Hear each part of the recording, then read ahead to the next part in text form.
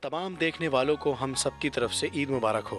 عید الاضحیٰ، دراصل حضرت ابراہیم اور ان کے خاندان کی وہ تاریخی یادگار ہے۔ جب انہوں نے اللہ کے حکم پر اپنی سب سے محبوب چیز، پیارے بیٹے، حضرت ابراہیم علیہ السلام کو قربان کر دیا۔ قربانی کا فلسفہ بھی یہی ہے کہ ہم اللہ کی اطاعت کرنے میں جذبات کا اظہار کریں۔ عید الفطر و عید القربان کی نمازیں واجب ہیں اور ان کا جماعت کے ساتھ پڑھنا ضروری ہے۔ نماز عید الفطر و قربان کا وقت عید کے دن طلوع آفتاب سے ظہر تک ہے۔ عید قربان اور عید الفطر کی نماز سورج چڑھ آنے کے بعد پڑھنا مستحب ہے کہ سورج چڑھ آنے کے بعد افطار کیا جائے، فطرہ دیا جائے اور بعد نماز عید ادا کی جائے۔ قربانی کا اصل مقصد ہے کہ ہم ہر سال اپنے اعمال کا جائزہ لیں۔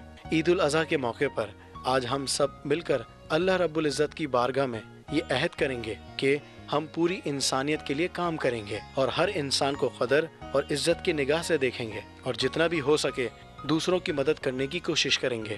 ہم، آپ، سب کو عید الاضحیٰ کی دلی مبارک دیتے ہیں، کیونکہ عید قربان صبر، برداشت، رواداری کی تلقین کے ساتھ اسلام کی بقا و سلامتی کے لیے سب کچھ قربان کرنے کا درس دیتی ہے۔ عید قربان کا مقصد صرف جانوروں کی قربانی دینا قطعی نہیں ہے، بلکہ قربانی کا اصل مقصد ہے کہ ہم ہر سال اپنے اعمال کا جائزہ لیں اور اپنی ذات سے وہ خرابیاں ختم کریں، جس سے کسی دوسرے کو تکلیف پہنچتی ہو۔ عید قربان تجدید عہد کا یوم ہے۔ قربانی کرنے کی فضیلت۔ ام المومنین حضرت عائشہ سے روایت ہے کہ نبی کریم صلی اللہ علیہ وسلم نے فرمایا ذیل حج کی دس تاریخ کا کوئی نیک عمل اللہ تعالیٰ کے نزدیک قربانی کا خون بہانے سے بڑھ کر محبوب اور پسندیدہ نہیں اور یہ چیزیں اجر و ثواب کا سبب بنیں گی۔ نیز فرمایا، قربانی کا خون زمین پر گرنے سے پہلے اللہ تعالیٰ کے نزدیک شرف قبولیت حاصل کر لیتا ہے۔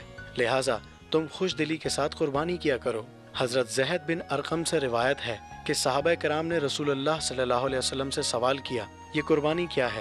آپ نے فرمایا، تمہارے باپ حضرت ابراہیم علیہ السلام کی سنت ہے۔ صحابہ کرام نے رسول اللہ صلی اللہ علیہ وسلم سے سوال کیا کہ ہمارے لیے اس میں کیا اجر و ثواب ہے؟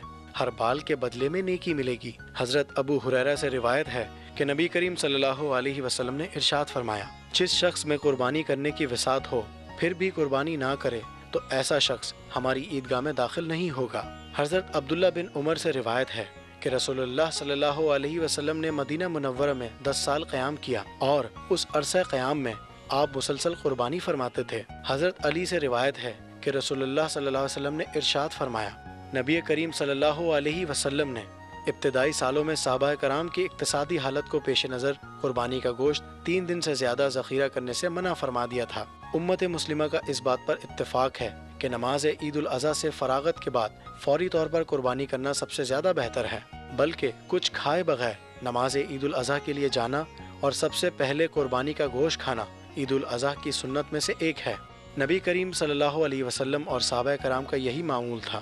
اس وجہ سے ہمیں پہلے ہی دن قربانی کرنی چاہیے۔ اگر کسی وجہ سے پہلے دن قربانی نہ کر سکتے ہوں یا چند قربانیاں کرنی ہیں، تو بارہ ذی الحج کے غروب آفتاب تک ضرور فارغ ہو جانا چاہیے۔ قربانی کے جانور کی عمر بکرا، بکری، بھیڑ ایک سال کی ہو۔ بھیڑ اور دمبا جو ہو، تو چھ ماہ کا۔ لیکن دکھنے میں ایک سال کا معلوم ہو اور گائے، بھینس دو سال کی اور اونٹ پانچ سال کا ہو۔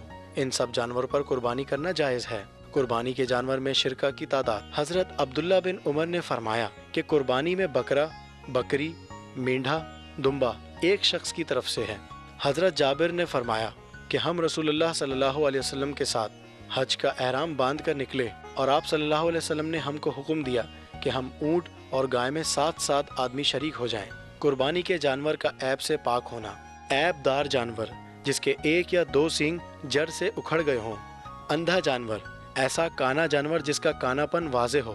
اس قدر لنگڑا جو چل کر قربان گاہ تک پہنچ نہ سکتا ہو، ایسا بیمار جس کی بیماری بالکل ظاہر ہو وغیرہ وغیرہ کی قربانی کرنا جائز نہیں ہے۔ بھینس کی قربانی کا حکم۔ جمہور علماء کا اتفاق ہے کہ گائے اونٹ کی طرح بھینس پر بھی قربانی کی جا سکتی ہے۔ گائے اونٹ کی طرح بھینس کی قربانی میں بھی سات حضرات شریک ہو سکتے ہیں۔ خود قربانی کرنا افضل ہے۔ نبی کریم صلی اللہ علیہ وسلم اپنی قربانی خود کیا کرتے تھے۔ اس وجہ سے قربانی کرنے والے کا خود ذبح کرنا یا کم از کم قربانی میں ساتھ لگنا بہتر ہے۔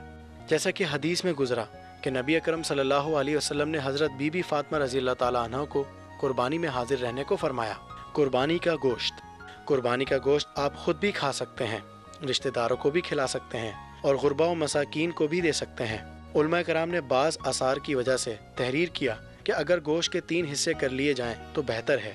ایک حصہ اپنے لیے، دوسرا حصہ رشتہ داروں کے لیے اور تیسرا حصہ غربہ و مساکین کے لیے۔ لیکن اس طرح تین حصے کرنے ضروری نہیں ہیں۔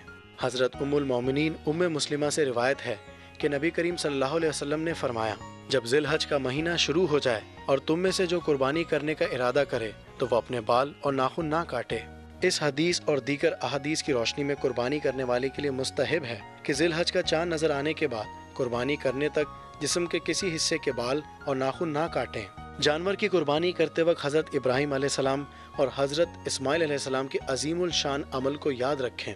اور دونوں اللہ کے حکم پر سب سے محبوب چیز کی قربانی دینے کے لیے تیار ہو گئے۔ قربانی کی اصل روح یہ ہے کہ مسلمان اللہ کی محبت میں اپنی تمام نفسانی خواہشات کو قربان کر دے۔ لہٰذا ہمیں من چاہی زندگی چھوڑ کر، رب چاہی زندگی گزارنی چاہیے۔ حضرت ابراہیم علیہ السلام کی زندگی میں صرف یہی ایک عظیم واقعہ نہیں، بلکہ انہوں نے پوری زندگی اللہ تعالیٰ کی اطاعت و فرما برداری میں گزاری، جو حکم بھی اللہ تعالیٰ کی طرف سے ان کو ملا، فوراً اس پر عمل کیا۔ جان، مال، ماں باپ، وطن لخت جگر، غرض سب کچھ اللہ کی رضا میں قربان کر دیا۔ ہمیں بھی اپنے اندر یہی جذبہ پیدا کرنا چاہیے۔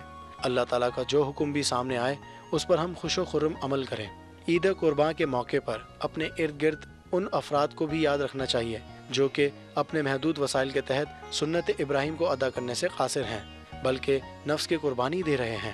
ہمیں یاد رکھنا چاہیے کہ اسلام میں نفس کی قربانی کو ترجیح دی گئی ہے، جس کے تحت ہم سب کو اپنا احتساب کرنا چاہیے۔ عید قربان کے موقع پر ذاتی خواہشات، بے دریغ اخراجات اور شاہ خرچی کے بجائے غربت، افلاس اور فاقہ کشی کی چکی میں پسنے والے اور سیلاب سے متاثرہ ہونے والے غریب عوام کی معیاری زندگی کو بلند کرنے کے اقدامات کریں۔ اللہ تعالی ہم سب کی قربانیوں کو قبول فرمائے اور اس سنت ابراہیمی کو پورا کرنے کے ساتھ ساتھ ہمیں ہر معاملے میں اخلاص بھی عطا فرمائے۔ ہمارے جو مسلمان بھائی حج کے لیے گئے ہیں، اللہ ان کے حج کو قبول فرمائے اور ہمیں بھی اپنے گھر کی زیارت نصیب فرمائے۔